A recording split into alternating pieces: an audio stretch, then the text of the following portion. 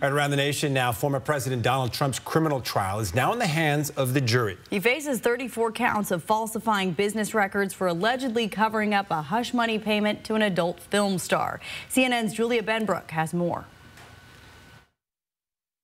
Former President Donald Trump is accused of taking part in an illegal conspiracy to undermine the integrity of the 2016 election and an unlawful plan to suppress negative information, which included concealing a hush money payment to adult film star Stormy Daniels to cover up an alleged affair.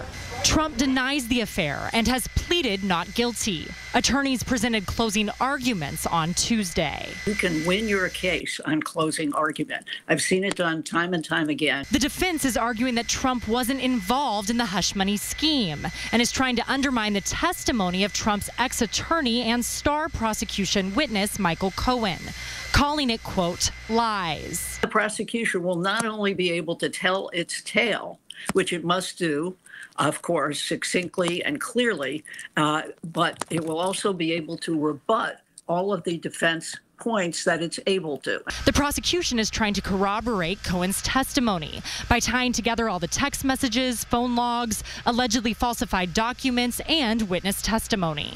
Ultimately, a trial is all about storytelling for the jury. There are only 12 opinions that matter. After closing arguments, the judge delivers his instructions, a critical point in the case when the jury learns how to apply the law and weigh conflicting testimony and different kinds of evidence. The jury deliberation process could take days, even weeks.